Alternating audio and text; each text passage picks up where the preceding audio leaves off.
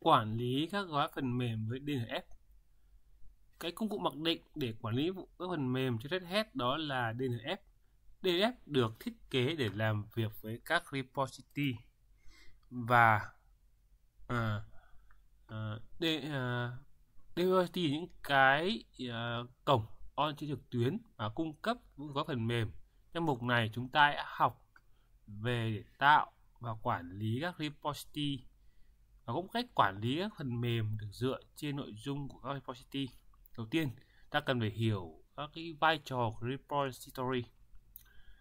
Phần mềm trên Red Hat Linux được cung cấp bởi Red Hat Package Manager dưới dạng uh, đó, dạng uh,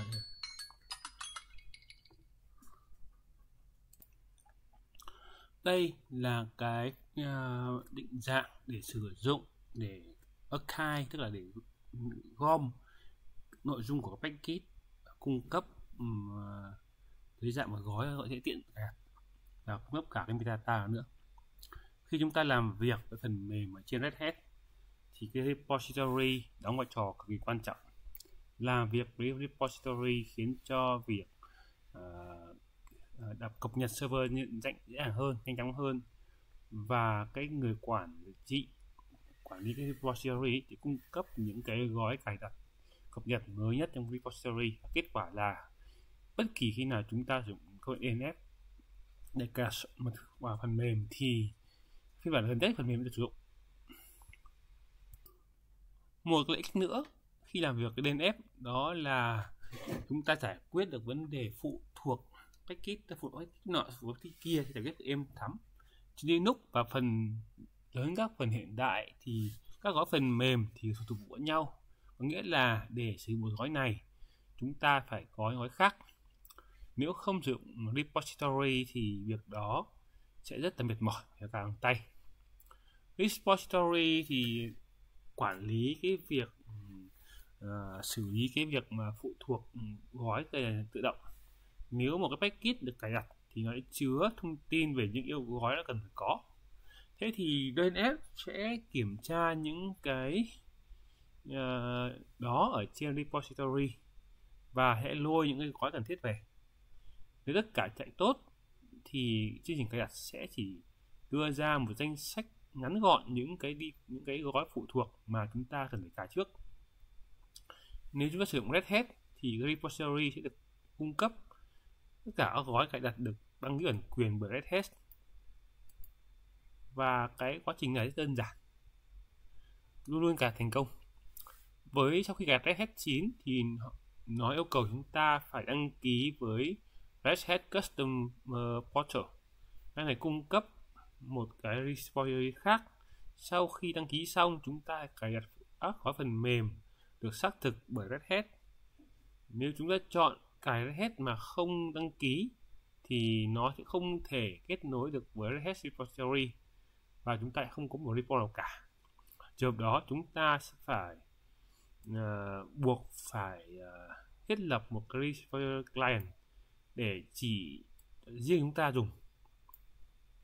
Chú ý rằng repository thì không đặc biệt nào gọi là cả không đặc tả cả. Do đó nếu chúng ta sử dụng uh, à, thì phù hợp riêng anh thôi. Nên nếu dùng hết hết chúng ta nên sử dụng repository của hết thôi đừng cố gắng thêm cái repository của CentOS vào. Nếu chúng ta làm điều đó hoặc chúng ta dùng là repository của Fiora và hết thì không tốt lắm đâu. Chúng ta nên xem xét uh, uh, thêm cả cái Expel cũng được. Chú cảnh báo trước khi thêm Expel thêm vào hết đảm bảo rằng nó sẽ không à, làm phá vỡ cái uh, nội dung hỗ trợ của Red vì là Expel thì không quản lý trực tiếp bởi Red nên uh, khi thêm nó vào sẽ làm phá vỡ cái khả năng hỗ trợ của Red uh, ờ, còn việc đăng ký Red cho việc uh, hỗ trợ thì sao? Red thì được hỗ trợ với uh, hỗ trợ mà yêu cầu người đăng ký. Đăng ký Red chúng ta cần phải có một cái entitlement tức là phải có trả tiền. Và cái entitlement thì đi kèm với cái, cái, chứng nhận này đi kèm chúng ta trên cái cổng Red Hat Customer Portal. Chúng ta có thể lấy bất kỳ cái entitlement nào và thông cầu mua bán một cái ờ, đăng, quyền đăng ký Red Hat hoặc là tham gia chương trình Red Hat Developer Program. Thì trong chương trình này chúng ta sẽ có một cái uh, khoảng 16 máy để dùng là đấy. Tuy nhiên chúng ta sẽ không có thể hỗ trợ nào thực hiện với cả chúng đơn giản chỉ được truy cập vào cái repository của Red Hat và lấy công việc thôi. Sau khi có à, một cái, à, một cái à, đăng ký từ Red Hat chúng ta có thể dùng hệ thống Red Hat Subscription Management để quản lý cái time của chúng ta. Quản lý có bao gồm là đăng ký này uh, subscribe này cuối cùng là enable cái uh, bật cái repository lên sau thì vậy có quản điều tao ra quản lý cái đăng ký thế nào? Chúng có đăng ký thông qua GNOME Graphic Command Line hoặc là Subscription Manager. Cái này thì nó hơi không hết lắm cho việc thi đâu. Quay sau đó chúng ta sẽ chỉ ra cái response muốn dùng như thế nào. Trường hợp chủ yếu thì nó sẽ khi khi gạt xong ấy, thì nó sẽ lập cho chúng ta luôn có thể có đây. Thì uh, chúng ta sẽ uh, chọn xem là cái nào. Đây mình dùng ờ, Red Hat thôi. Chứ không dùng thằng uh, à, dùng thằng uh, Oracle thì lại khác một chút. Vì thằng Red Hat ừ, nguồn học nó phức tạp. Nó cài cài nhiều quá nó bị mất cái thằng spot và chính này là cái việc mà bảo server ông ta dùng resource nào ấy là phần quan trọng để vừa kỳ thi. Chú ý là để làm việc với các repository và phần mềm gói phần mềm, đừng không sử dụng cái repository mà được cung cấp mặc định. Tức là khi mà cả tượng ngoại như là này bỏ. Ta kiểm tra trong EC yum repo nhé nào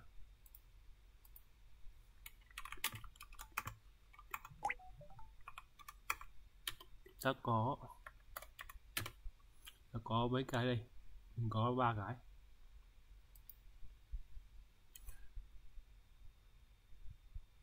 Để yêu cầu để chúng ta xem là có repository được dùng được không, chúng ta cần tạo nó ở trong thư mục là yum ờ, repo.d chúng ta cùng những hôm sau. Rồi là nhãn này.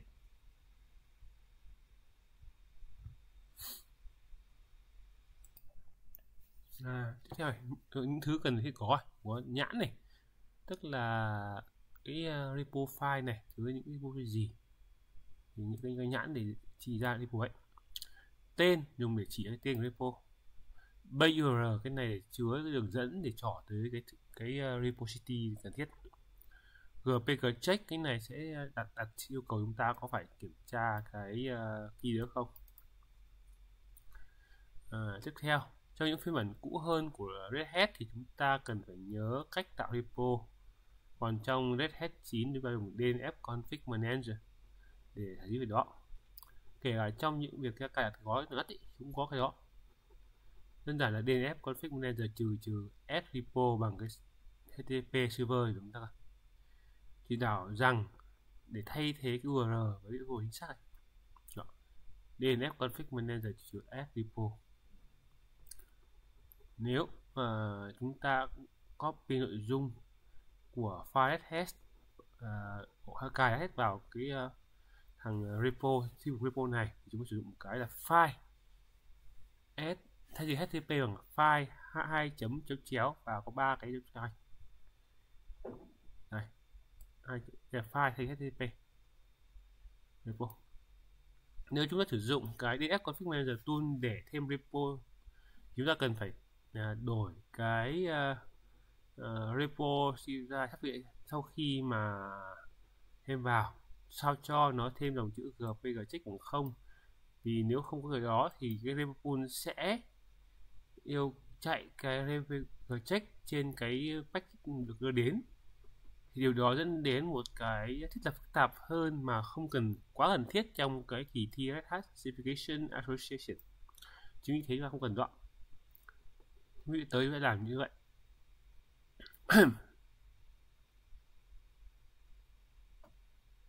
Đây sẽ là thử cái nha thử kết nữa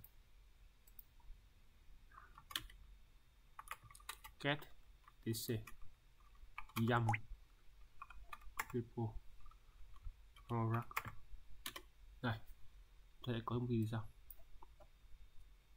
Nên là uh, nhãn này sau tên này. Sau đó BURL này. Sau đó đến gặp việc key ta sẽ thêm cái gì ở đâu đó. À. À, no cũng được GV check bằng một. N bằng không. Không bật. Là xong. Ta sẽ tiếp tục với thằng à, uh, đường phiêu ra sao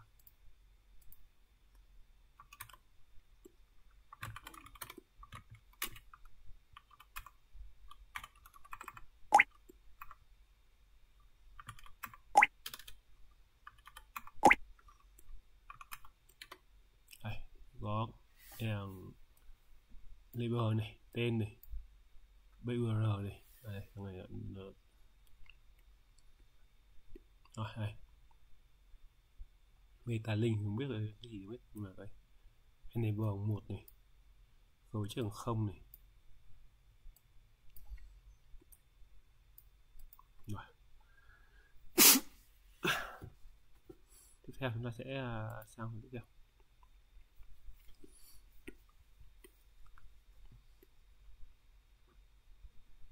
Nếu chúng ta tạo một à, có cái key này nó phải chọn cái key mà có chứa. Nếu ta tạo một cái possible file và cái BURL công tố này thì được là phần quan trọng nhất. Đó là chúng ta giả sử chúng ta thêm cần tìm cái file mà chứa cần càng ở đâu. Thì cái BURL này thì đóng vai trò như là cái đường dẫn nơi cái file cả cái có thể thường là HTTP hay là FTP hoặc cũng có thể là chỉ một file bay thôi. File. Nếu rất sử dụng URL thì hai thành tố cần phải quan tâm. Đầu tiên đó là cái ờ, giao thức mà dùng. Nước ở đây thì có thể là http protocol 2 chấm, chéo chéo, như http hay là ftp hoặc file. Theo theo cái URL đó đó là cái độ địa chỉ chính xác của thằng URL đấy. Có thể tên của cái web server hoặc là tên của FTP server bao gồm cả cái uh, thư mục con nơi mà cái file tìm kiếm. Nếu URL là chữ là file thì là gì? Bắt đầu với chữ uh, dấu chéo. Rồi cái file của bạn ba chéo ờ, trên chỉ có hai chéo thôi. Đó đó một cái hệ thống file bắt đầu là gì? Ừ, hai chấm này. Chéo chéo phải chéo nữa.